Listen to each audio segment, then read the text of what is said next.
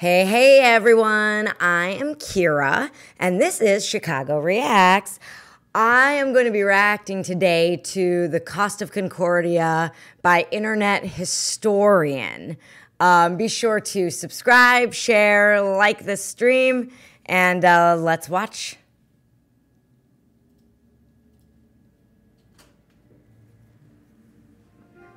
Way too fast. The Costa Concordia, ship of dreams. It's been eight years. I can still smell the buffets from their five restaurants. The casino and three story theater had hardly been used. Ah, the gym, the day spa, the sheets in uh, her 1500 luxurious cabins hadn't even been slept in.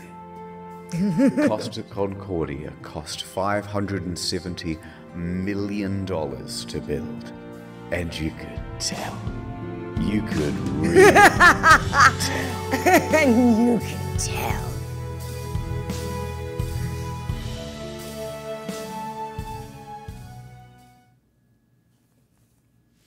I remember it like it was just a few years ago. We had left Civitavecchia, a port in Rome, and we were making our way to Savona. It was day two of our seven day journey. But that ship, I, she was cursed. When she premiered, the traditional bottle of champagne bounced right off the side instead of smashing. It bad, bounced Omen. again. But I'm not the superstitious type. Nothing could go wrong on mm, Yeah, Friday sure. the 13th of January, 2012, on the 100th year anniversary of the Titanic, on a ship that's also only safety rated for two compartment flooding. Especially not when you have a five star max level captain like Francesco Schettino. Oh, hey. A man who mysteriously rose from head of security to the position of captain within just a couple of years. He knows exactly what to do in case of an emergency. For example, when he caused this emergency in 2008 when he crashed into a port in Sicily. And in 2010 in Warnemünde, Germany, when he was steering a different ship and came into port too fast What? another collision. Oh my god! I've got a good That's hilarious. So let's set the scene. It's a beautiful evening. People are having fun on the It's worse than that? Okay. Antonio Magnotta is playing piano at the restaurant. Martin the magician is setting up for his show. And the ship is setting up for a little detour. It's called a sail by salute. Basically, you get real close to the shore and honk the horn. The locals hate it, but the customers love it, and it's a tradition. Schettino, the captain, comes into the dining hall with a lady, Domnica Cemortan. Remember this face because you'll be seeing a lot of it later. Schettino eats his dinner with her and socializes for a little while. Then he, Domnica, and the maitre d' finish up and excuse themselves. They're heading to the bridge. It's time for that sail by salute. This time, they're going to get closer than ever. Just 1,500 feet from the island of Giglio. And how are they going to determine this distance? Well, of course, the captain is going to eyeball it. Apparently, it's not an uncommon thing to do. Schettino turns to the fella steering, his helmsman, Jacob Rusli Bin. First interesting tidbit. Costa Crociere has hired Jacob from Indonesia at a rock bottom price, and he's a bit of a newbie to the job. In fact, his profession hitherto, a painter and a cleaner. It's his first time steering a massive ship, and he's very excited. At least, we think he is. It's hard to tell because he doesn't speak English or Italian very well at all. Off to a good start. The second in command orders the helmsman to 290. Now, don't be confused by these numbers, they're just the degrees on a compass. At the same time, the captain whips out his cell phone and calls former captain Mario Palombo, who lives on the island. They chat about the safe distance to Giglio's shores. It's all very casual. Anyway, Mario says that the safe distance is between 0.3 and 0.4 miles from shore. The captain is going all in. This is not his first sail by No, salute, not so a he's good confident idea. in what he's doing. We're going closer than we've ever been before. The captain's eyeballing it again. Hmm. New heading of 300, he tells the helmsman. Downstairs, Martin is about to cut his assistant in half. And of course, that means that there's already a lady inside this box. She's waiting for the how that cue, and then she'll poke her legs out. the captain is giving more orders. Pulling gently to 310. Increase speed to 16 knots. Going this fast is going to be a fatal error. But before we talk about that, let's talk about another big problem language barrier. Oh. Because at this point, the captain says 325, but the helmsman relays 315. So the first officer intervenes and he goes, No, no, no, 335, Oh, which is also wrong. And then the captain clarifies, No, 325. The helmsman confirms 325. Their poor communication has them moving at a much wider angle than they think they are. However, the captain should and oh. would know this, except for the next problem complacency about procedure. Oh my god. The standard procedure Oh my of a ship this large is for the third officer to give exact positional coordinates every time the captain gives a new directional order. But they're not doing that. 330, he says. The helmsman relays 330. The ship reaches 16 knots. The captain then turns to the second officer and instructs him to go to the left wing. That's these things here, and they basically exist so you can get a better view over the whole vessel. A few seconds pass, and then the mood starts to turn. Schettino notices. Oh my God. Oh my against the rocks God. This is directly in horrible. In the distance, the Costa Concordia right now is almost 700 meters closer to the rocks oh, than it should be. Without deviation, there is going to be a direct. Oh my god. Aren't they too Schettino late? immediately commands the ship to start turning away. 335. Not enough. The captain shouts, 340. The captain yells, Mm. Oh shit, I'm gonna break shit down here. Now, remember how I said that accelerating to 16 knots was a fatal error? Well, that's because it's made this ship incapable of such a drastic turn. What yeah.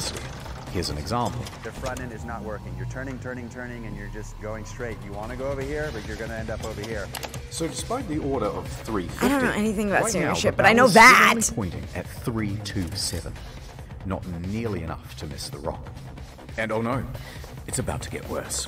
Oh. That language barrier again. Oh, In these critical moments where every second counts, the helmsman wrongly relays 340. The captain snaps back 350 starboard or we end up on the rocks. The third officer goes to assist the helmsman. Now, don't get confused by the orders from here. We're changing over to rudder instructions. The captain yells, Starboard 10, starboard 20, and still it's not enough. Hard to starboard. That means as hard as it'll go. But at this point, even if they clear these rocks, Oh my God. they need to get the rest of the ship to swing around it. So the captain yells, Midship, which centers the rudder. The bow is now less than 150 meters from Skull Rock. Port 10. But the helmsman only gets to port 5 before another order is given two seconds later. Port 20. They might just avoid disaster here. Hmm. Oh my god. But then, oh no. One more time, the helmsman cocks up at the worst possible moment. The helmsman goes to starboard instead of port. No! The swing. Eight seconds later, he realizes the error and corrects, but it's too late. He has just like, "Hope turned nobody noticed." miss into a sure hit. All they can do now is hold on as the bow of the ship narrowly passes by the rocks. Hard to port! The second officer yells, We're gonna hit! Oh my god. Oh my god. Collision. Boom.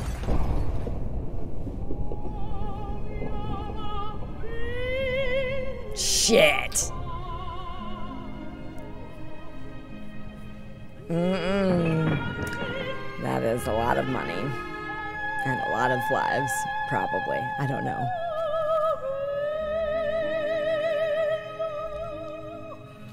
Jeez.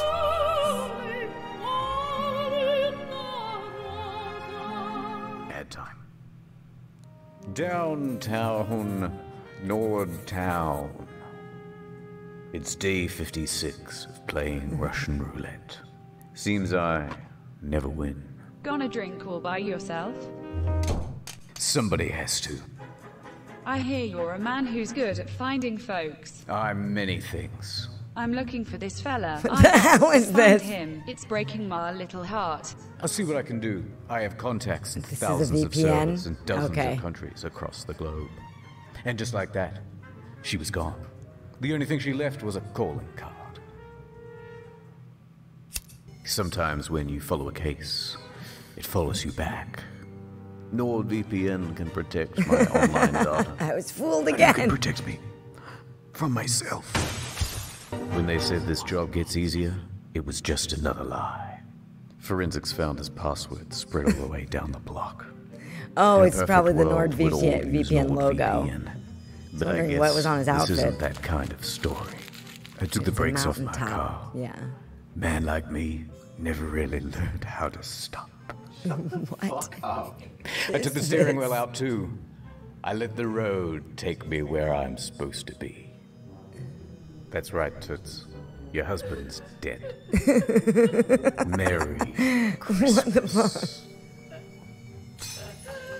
Go to nordvpn.com slash internet historian for a huge discount to two years. Sounds good. Yowza. Add? Oh. Okay. The ship hits rocks on the port side. Oh man, back to this. Okay. A 53 meter gash opens up in the hull, and thousands of tons of water begin Yeah, pouring in. that's not good. A loud scraping and bang is heard by all passengers. At the helm there's panic. Rumblings in the dining room. Martin awkwardly pauses his act as he's helping his assistant into the box.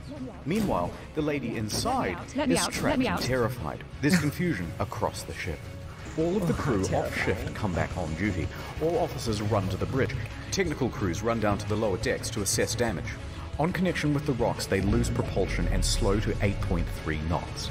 And they are now adrift. Close the watertight doors at stern. I was imagining it like flip water are pouring around, like So much so that within like 29 seconds of fishtail a collision, little more. all six engines stop working through flooding. 22 seconds later, a blackout happens. Oh, Lights, scary! water pumps too. Everything. Oh the captain orders the helmsman hard starboard. This is the final position of the rudder before power to that too is lost. The Costa Concordia, now without power, is drifting starboard, oh plunged into absolute darkness. Yeah. A quick breakdown of the flooding. When the Concordia struck land, it tore open three watertight compartments. At first, compartment 5, which filled very rapidly. Then 6 more slowly, 4 shortly after. Then 7, 8, and 3. Modern ships are built to withstand two compartment breaches. These compartments, wow. especially though, are a problem because they contain the engines and the electrics. These main generators give power to the whole ship. Mm. From propulsion motors to rudder to hotel functions, pretty mm. much everything. When they went out, the ship was a functionless, sinking cage. A few seconds later, the emergency $520 batteries for internal lighting and communications kick on. When the lights come back on, Martin has vanished. He's ditched the stage, and it caused a huge panic in the theatre as passengers are trying to flee to their cabins and to muster stations. People already in their cabins come out and start putting on life vests. Staff rally and try to calm everyone down. Everything is fine. There's no need for Everything's vests. fine. Please return to your cabins. Oh my god. The emergency generator starts. All of the watertight doors closed except for door 12. No, which is of jammed. course. Why? captain calls Pelot, the chief engineer, as the ship begins to list on the port side. There's water coming in? Yes, there's water. But where? The engine room. But a lot of water? Yes! There's water, you can't go down. Let's go down the other side. In a moment, we'll start the pumps, I'll let you know. In the theatre, the whole magic box apparatus slides right off the stage and falls into the crowd, further increasing panic. On the bridge, an announcement is being prepared. They are going to lie to prevent a panic. Let's just say we have a. The deputy chief engineer enters the engine control room. He confirms to the bridge that at least compartments 5, 6, and 7 are flooded. Announcements are made. the captain to inform you that due to an electrical fault which is currently under control, we're currently in a blackout. Our technicians are working to resolve the situation and will inform you of developments as they occur. Thank you for Oh your my attention. god. Coincidentally, at the same time in the restaurant, they're playing My Heart Will Go On, and it's very much No. the situation. The captain calls the Costa Crisis Unit. Roberto Ferrarini. He tells the crisis unit that they've hit a rock, that they're assessing damages, and that they are also in a blackout. The crisis office says to reverse the ship up onto shore. No time to talk about how we hit that rock right now, though, sir. We just need the help. engine. You know, hoist the sails? Anyway, around this time, the wind direction creates a starboard list, and the ship begins to turn anyway, drifting right back towards the shore, which is a very good thing because you want the ship to end up as close to shore Okay. as possible. I was just like, don't hit the rocks, though. Senses that something is off. This isn't like any electrical problem that she's ever seen. Plus, there was a massive crashing noise, and now the ship is tilting. So, she contacts her daughter in Italy. The daughter then calls the police, and the police call the harbour master. While that goes on, a conversation between Pilon and Ambrosio. The diesel is not starting. The captain asks the engine room, but where have we made contact? Thinking that the incoming water can be reduced. Captain, here everything is lost. The electrical panel, everything. They're saying at this point that the ship is going down. Oh my god. The captain calls Roberto Ferrarini again. Uh, actually, two compartments have been flooded, but don't worry, the ship's stability isn't in danger. Wrong. Passengers begin going to muster stations on their own initiative. The cruise director says, We have a lot of people at muster stations that I do not want to fall overboard. Do we make an announcement to tell them to go to the lounges? Bozio Oh says, God. I think that's best. The harbour master from Livorno calls the ship. The captain tells them that we, we just have a blackout. How long has this blackout been going on? Uh, about 20 minutes. Have you asked passengers to put on life vests? It's just a blackout. I, I gotta go. The harbour master is suspicious. He says to his superiors that he thinks something more is going on. He calls a patrol boat to the area and asks them to look at the ship. Another problem. The fan on the emergency diesel generator isn't working properly. Pilon manually has to turn the thing oh. on and off with a screwdriver so that it doesn't overheat and cause a fire. The captain is on the phone to the lower decks, asking pointless questions like, Is it still flooded? Yes. Yes, it oh is. Oh my God. The captain is essentially in denial of the situation. Yeah, just The panic master mode. again. Finally, he says, The ship is taking on water through an opening in the left side, and the ship is listing. He qualifies with, No one dead or injured. The harbour master asks if he needs help. Just a tugboat?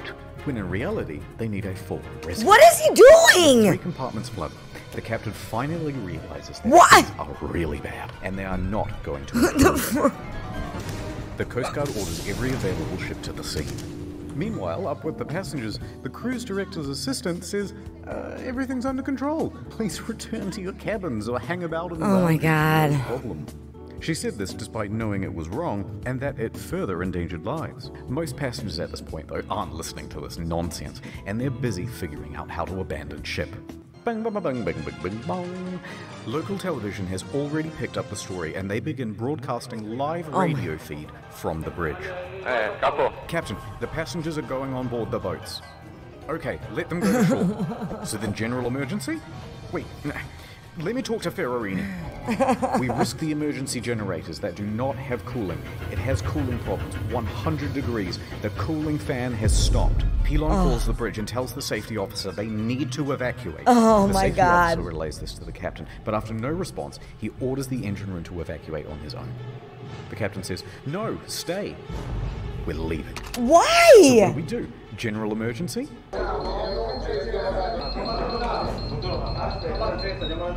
The captain tells Ferrarini that he's abandoning ship. Abandon ship. Another announcement is made. Ladies and gentlemen, your attention please. The situation is under control. Please remain calm. And at this time, proceed to your muster station. They're located outside on deck 4. The Livorno Coast Guard calls again. The captain declares distress. The Coast Guard officially calls for rescue operations. They contact Pietro Mile, the helicopter base commander, who then calls in every available pilot. As he rushes down to the helicopter base, Pilon shuts down the emergency generator for the final time. The first rescue vessel arrives. By this point, the lifeboats are already going. Luckily, the ship is very close to shore. Yeah, Oh, that was my thought. Perhaps too close to shore. The Ah, ship forcefully runs aground, creating an uneven center of gravity. And it begins heavily listing Oh my. God. The captain issues a general emergency on board. The announcement to abandon ship is finally called and alarms ring out. And with that comes panic. And now that they're listing, with many of the lifeboats too awkwardly positioned to enter the water, there aren't enough readily available, and they have to start going back and forth to the shore, picking people up and dropping them off. The patrol boats report to the Livorno harbour master that the ship has run aground and is listing heavily. So the harbour master asks the captain about, it, and the captain says, "No, no, no, no, no the ship is still floating. Uh, in fact, we're trying There to is something it onto the shore." They know Mentally wrong with this captain. I'm reversing it. Beep, beep, beep, beep, beep. The captain then says to bottom out the starboard anchor. So they drop out the anchors, but let out too much chain, effectively rendering them useless. The deputy mayor of Giglio, Mario Pellegrini, and tobacco shop owner Giovanni Rossi arrive at the harbour. They watch the scene unfold. As the first of the lifeboats arrive on shore, the deputy mayor takes the initiative and races to board one of the lifeboats, returning to the ship, and starts trying to find someone in charge. He gives up and starts helping passengers. Schettino tells everyone to leave and take radios. But not before changing out of his uniform and into a nice suit. Oh, yeah, yeah. Doesn't want to get Dimitri seen. Christakis and Silvia Coronica leave with him. The maitre d' and Cemortan both get out of there. By this point, approximately 300 people are still on the ship. Oh my God. The first helicopter, a slow moving Agusta Bell, was already rising from the tarmac for the hour long flight south. Bozio is the last crew member left on the bridge, coordinating evacuation. He then leaves to help passengers board lifeboats. The bridge is now abandoned. And then, the ship's black box stops working. Oh my Apparently, there were technical problems with it. That means, from here, things are going to get a little foggy in detail. A while later, rescue helicopters arrive, but they're struggling to find the ship because they're expecting it to still be well above water.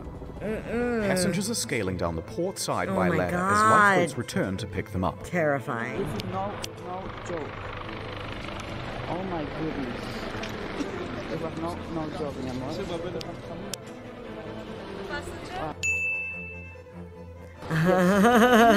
allowed a film I'm, I'm allowed, I'm allowed. A second helicopter, a faster model, sets off. The ship stops healing and comes to a final resting place. Now, the Coast Guard calls the captain because he's just learned that the captain has abandoned ship. The captain claims, uh, uh, no, actually, I slipped and I fell into one of the lifeboats. Ooh, I'm a klutz. I may as well head back. Oh my God, this guy. I slipped and fell into one of the back on board. lifeboats. Of course And you the did. captain kind of acts confused and then effectively refuses. so the captain makes it to shore. From here, we only have mainstream news reports to rely on, so it's not going to be super accurate. But they say that Giglio's police chief then finds 110 survivors on the rocks at Point Gabbianara. And among them is the captain. It's not known whether the captain helped anyone while he was there, and in fact, the police chief claimed that he just sat on the rocks and watched other people do the rescue. A while later, a rescue boat picks up the captain and takes him to the harbour. He speaks to the police. He then finds the ship's onboard chaplain, Father Rafael Molina, and cries to him for about 15 minutes. then he goes to the harbour master's office to receive probably the biggest dressing down of his entire life. Port authorities ask the taxi driver to take the captain back to his hotel. The captain takes the 30 second cab ride to the Bahamas hotel. According to the cabbie, he was beaten like a dog. He was cold and afraid. He only asked me where he could buy a pair of fresh socks. But then he perked right up again and gave an interview to a news crew. He told them that he was the last to leave. The captain is usually the last to abandon ship. What happened, Captain? Siamo stati gli ultimi da We were the last to leave the ship. Yeah. Uh-huh. All day Saturday, rescuers search for people on the ship. On Sunday morning, a South Korean couple is found in their cabin, safe but shivering. They had slept through the crash and woke up unable to exit their cabin. The last survivor, Manrico Giampandroni, was found with a broken leg. He was ah. the cabin service director. Ah. In the end, 32 people died. The final body wasn't discovered until nearly three years later. A crew member, Russell Rebello, and it's believed that he died a hero helping passengers off the ship. The ah. Costa Concordia was the largest cruise ship disaster since the Titanic. And then there's the ship. This is what happens to a 110,000 ton cruise liner when it's left half rolled over in the ocean.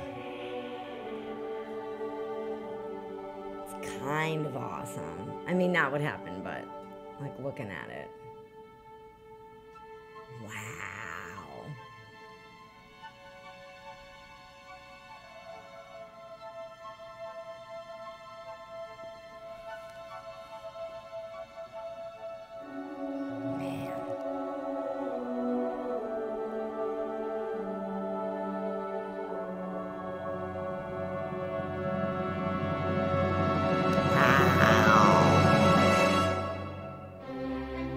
But this isn't the end.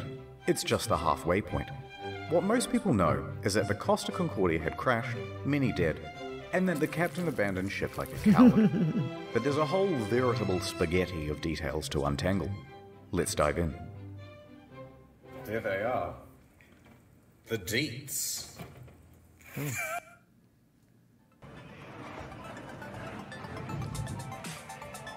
Oh, Jesus. I was not expecting that.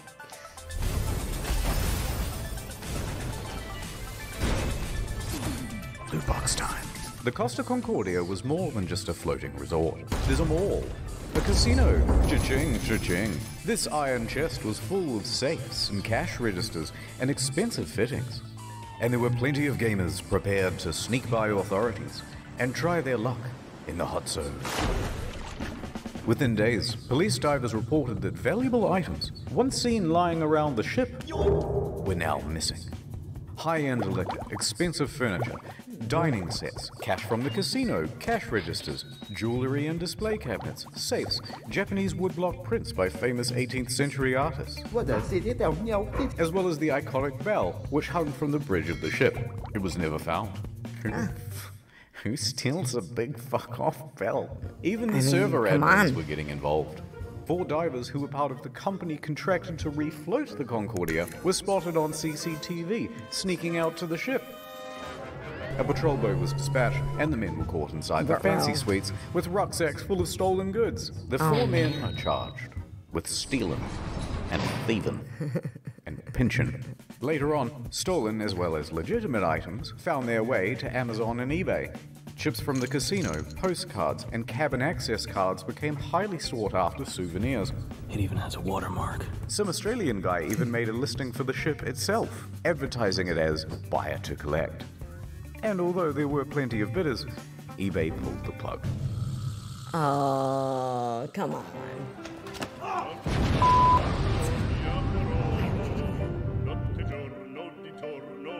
I know you want to see Schettino go to jail, and we'll get to that. But first, we have to talk about someone else. Domnica Cemortan. That was a close one.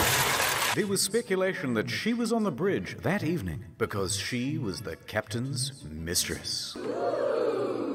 Tense media speculation reports that her presence distracted the captain. They both denied their love for years and maintained that they were just friends.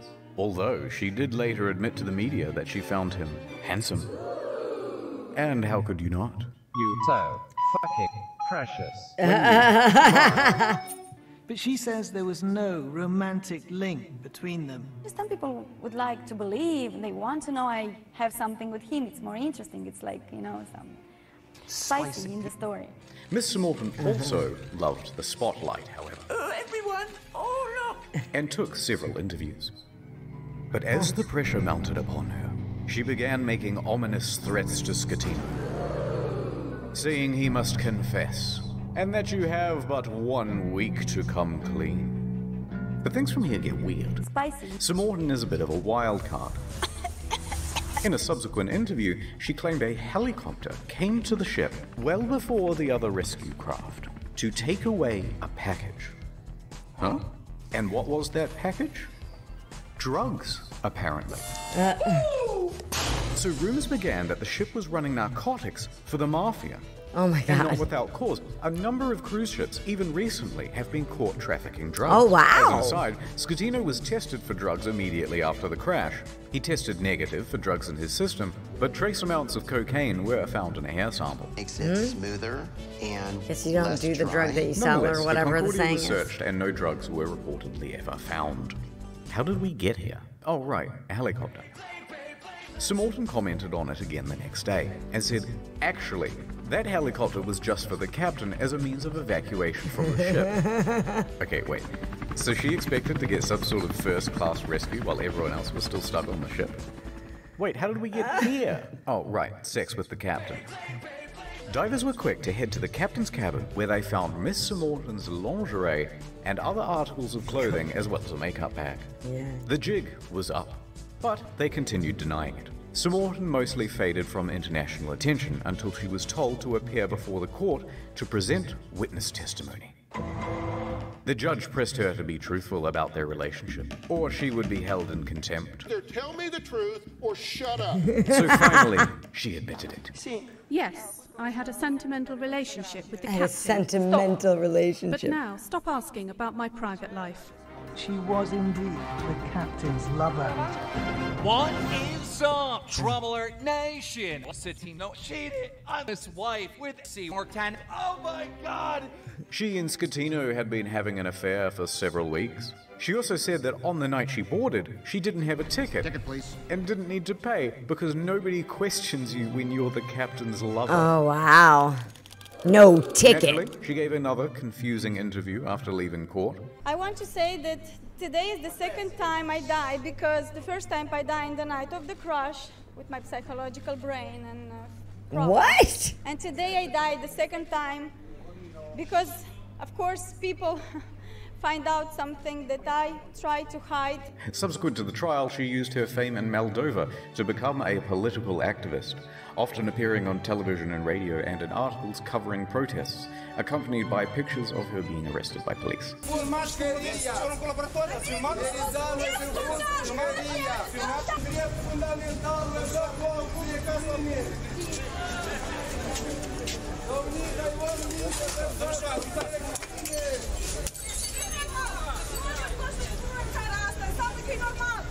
It was some stuff about victims of violence, women's rights, Girl power? yada yada yada. And interestingly, part of a push to block the sale of shares of Moldova's train network to Russia. Sure, sure. Other than that, I don't really know what she's been up to. Let me just check on her inst. Oh God, not again.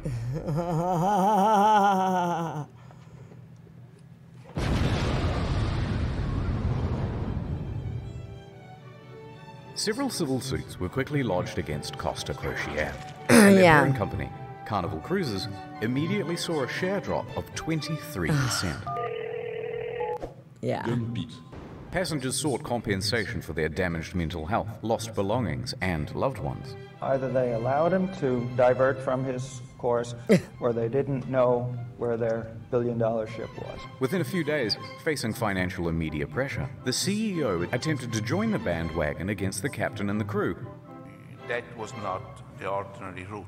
the ship was uh, taking uh, at the time and, and was not only taking, but the time the, the ship was. claiming that the ship was not approved to deviate from the route. But that wasn't true. Approval isn't required if the ship is deviating by less than 15 miles, or that it was against company rules. Also untrue, because investigators found that they didn't have any rules about deviating route, and they tacitly encouraged sail by salutes. Now, in response oh, to wow. the civil suits, Costa Crociere offered passengers 11,000 euros each as compensation. That's kind of small. 11,000 euros, about $14,000, is the minimum compensation under international law when a ship is abandoned. This was to reimburse My them for their God. tickets, as well as any costs they accrued in having to unexpectedly travel home early. And Oh my that was supposed to release them from everything and anything that has to do with this accident. I cannot ask That was for how more much than it was this. to- to be on the ship? understandably, were not too happy with this deal, and they refused to take the money. We think the offer is an insult. For what these poor passengers went through, we think that the compensation being offered is not commensurate. Here, Take it.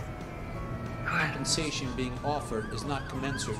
Later, Costa Crociere would lodge a plea deal with the Tuscany court to pay a 1 million euro fine to avoid a criminal trial. The judge agrees. Costa Crociere is now off the hook for all criminal liability for the whole thing. They've washed their hands of the incident and flecked the residual droplets of responsibility onto the faces of six staff members. Passengers and relatives of the dead are livid that the company has been able to avoid criminal responsibility. Offered is not commensurate. Civil suits against the company continue. By the way, the residents of the island of Giglio also banded together and sought damages. They didn't get much. Eventually, passengers who refused the initial compensation of 11,000 joined civil parties against Schettino in his trial in 2015. Is not commensurate. They were awarded 30,000 euros each. Other cases, especially those involving lost relatives, are settled for undisclosed amounts. Jesus. Yeah. New York attorney Peter Ronai traveled to Budapest to represent six real survivors of the disaster. At Ronai and Ronai, we personally work on every case. And we'll work harder than anyone to get you the most money possible in the shortest amount of time. And while on the job, a seventh case cropped up via email. An elderly woman, Ilona, said, Help me, Mr. Ronai, for I have lost my daughter, Eva, and my five-year-old granddaughter, Roxana. So Mr. Ronai agreed to speak with her. However, there were some inconsistencies in her story. Neither Eva nor Roxana were on the passenger list. Odd, but Costa is known for having stowaways. Gotcha, bitch. Still, Mr. Ronai was suspicious. They wouldn't cheaty old Petey, would they? Ronai inquired further about why she was on board, especially without a ticket. Ilona said, Well, I don't know, but you should ask her boyfriend. Zsolt? what? He'll know all the details. I'm up all night. I'm going crazy, he said. But Mr. Ronai was still suspicious. Because then she asked, How much money do you think this is worth? Uh. Uh. This is a huge red flag, Pete. In 20 years of doing this, you've never had anyone ask about money. Why now? So Mr. Ronai hired an investigator and sent photos around of the missing girl. The next day, the phone rang. Oh, hoi, hoi. It was the boyfriend again. Uh, look, there's been a bit of a misunderstanding, and the child isn't missing at all.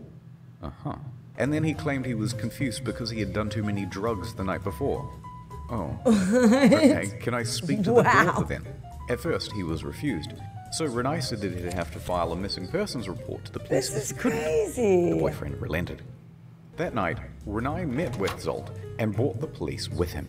He speaks to the granddaughter and asks her if she's seen Mum. Yeah, I saw her today.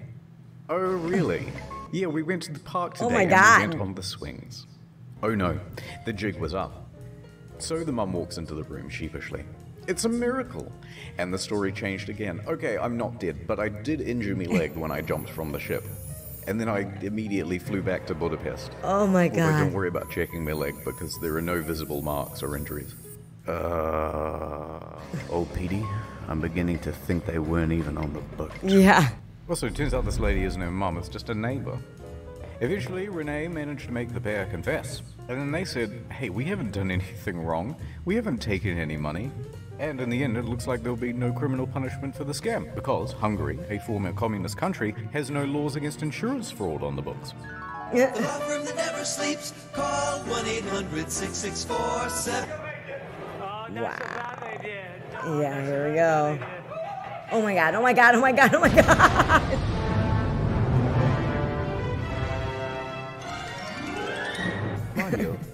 Would you teach me some Italian? Oh, of course. Means get back on board for fuck's sake. Okay, thanks.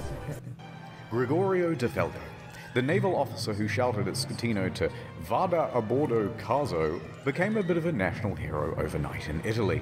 He, like the rest of the world, expected Schettino to go down with the ship. Yeah.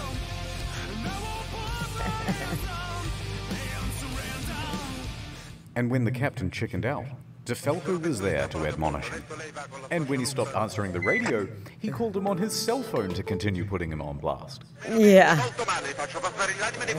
When the captain first reported just a blackout, Don't know if he meant to be DeFalco didn't believe the story and immediately began preparing a rescue effort, which likely saved several lives. His actions were applauded by most Italians who were tired of their public servants being corrupt and avoiding responsibility. Accordingly, shirts sporting Vada a bordo caso were being printed by the end of the week, others setting it as their phone's ringtone. But then, in September 2014, without warning, DeFalco was transferred to an admin role in the Coast Guard. Huh. Hear what I said? He'd been demoted. DeFalco said that he had been passed up for promotion, that he had also not been told which admin office he was even being transferred to, and that it all effectively cancelled 10 years of his career. DeFalco was Tres Furioso, and there was public speculation that it was owing to bad blood between himself and Admiral Delana, his former boss. His status among the public overshadowed his superior in many ways. On the Looks other like hand, his boss said, to me. ah, no, it's part of a normal career progression for naval officers and that he must show more maturity and professionalism to advance his career. Now, it's hard to know what's true in office politics, so let's leave that alone. And anyway, in 2018, DeFalco said Buenos noches, ya later, to the Italian Navy to become a politician. In March that year, he was elected to the Italian Senate, serving as a member for Livorno. He still serves there today. I'm the captain now. Jeez.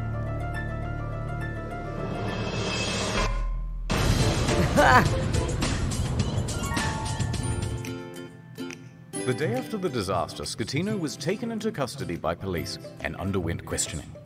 However, it was clear that this would not be a straightforward investigation.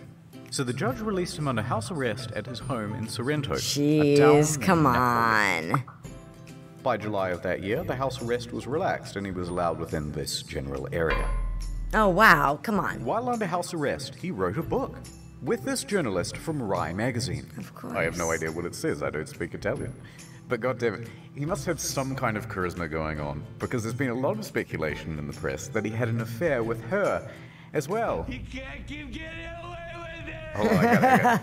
Not content with abandoning his ship, this dude is determined to abandon his wife as well. Oh my god. So, Schettino and five others are facing criminal charges.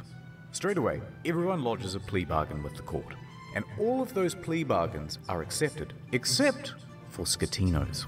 And the condition of everyone's reduced sentences are that they must provide witness testimony against Schettino. He touched me.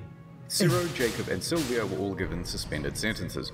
Roberto and Manrico are able to opt for community service or house arrest. Not a bad deal. A good deal.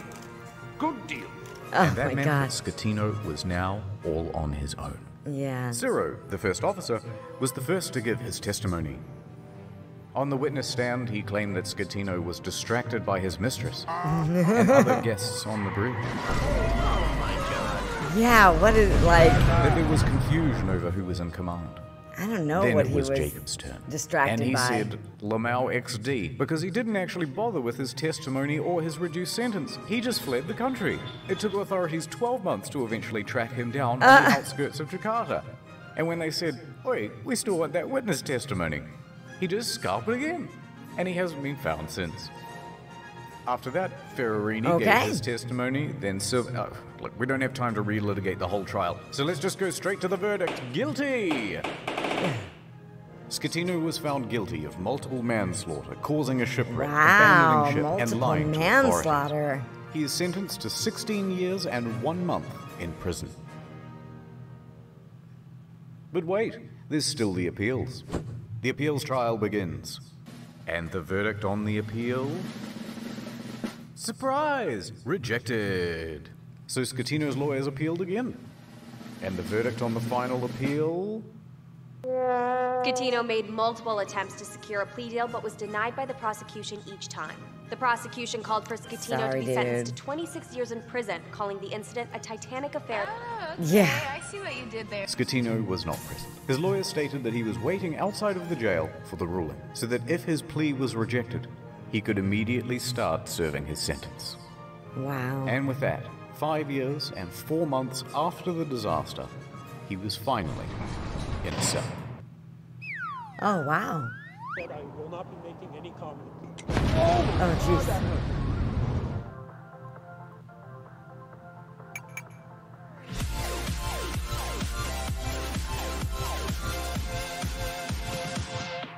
The salvage operation was enormous. It took over two years and cost an estimated $1.2 billion.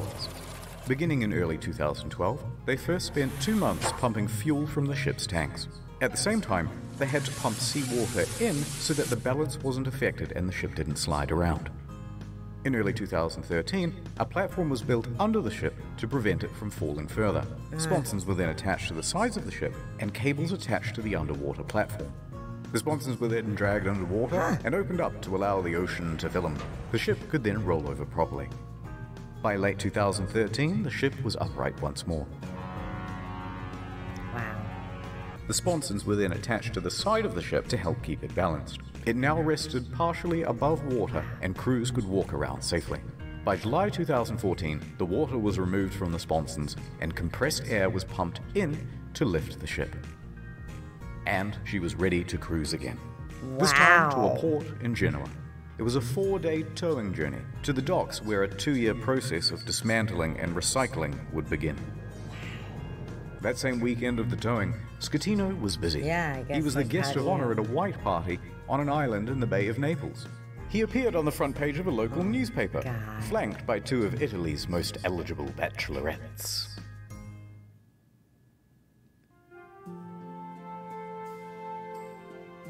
Anyway, so these are the things that I remember from the Costa Concordia. That sweet maiden of the sea. And as for you, little fella,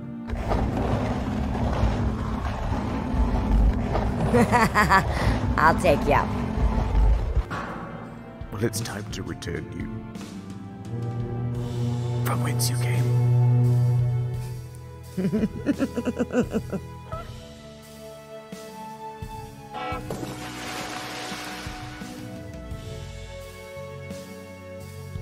Six quick things. One, NordVPN, good product, check them out. Number two, there's a new video on the second channel. You probably didn't see it because it was temporarily restricted. Now it's not. Enjoy. Three, if you've never seen the second channel before, give it a go. It's a different type of content, but we put a lot of production into it. It's not just offcuts. Four, there are a couple secret channels as well, but I ain't telling you where they are. Five, no more 45 minute videos on the main channel. Back to 10 to 15 minutes and more of them. Six, there's a Q&A coming out next week on incognito mode. It's got a ton of detail that we had to cut for the sake of brevity and will no doubt feature a ton of corrections as well. That's it. Oh, I was hoping there wasn't any more. Okay. That was uh that was a frustrating watch. Yeah. Um that uh, I, I've already forgotten his name. While I was watching, I was like, I'm gonna forget this guy's name. He's the, the captain. Um, wow. Like, what was his deal? Why did he just like not ask for the help he obviously needed? I don't know. I don't get. I don't. I don't understand people sometimes. Anyway, so that was a stressful viewing of Costa Concordia by internet historian. Hope you enjoyed it as much as I did.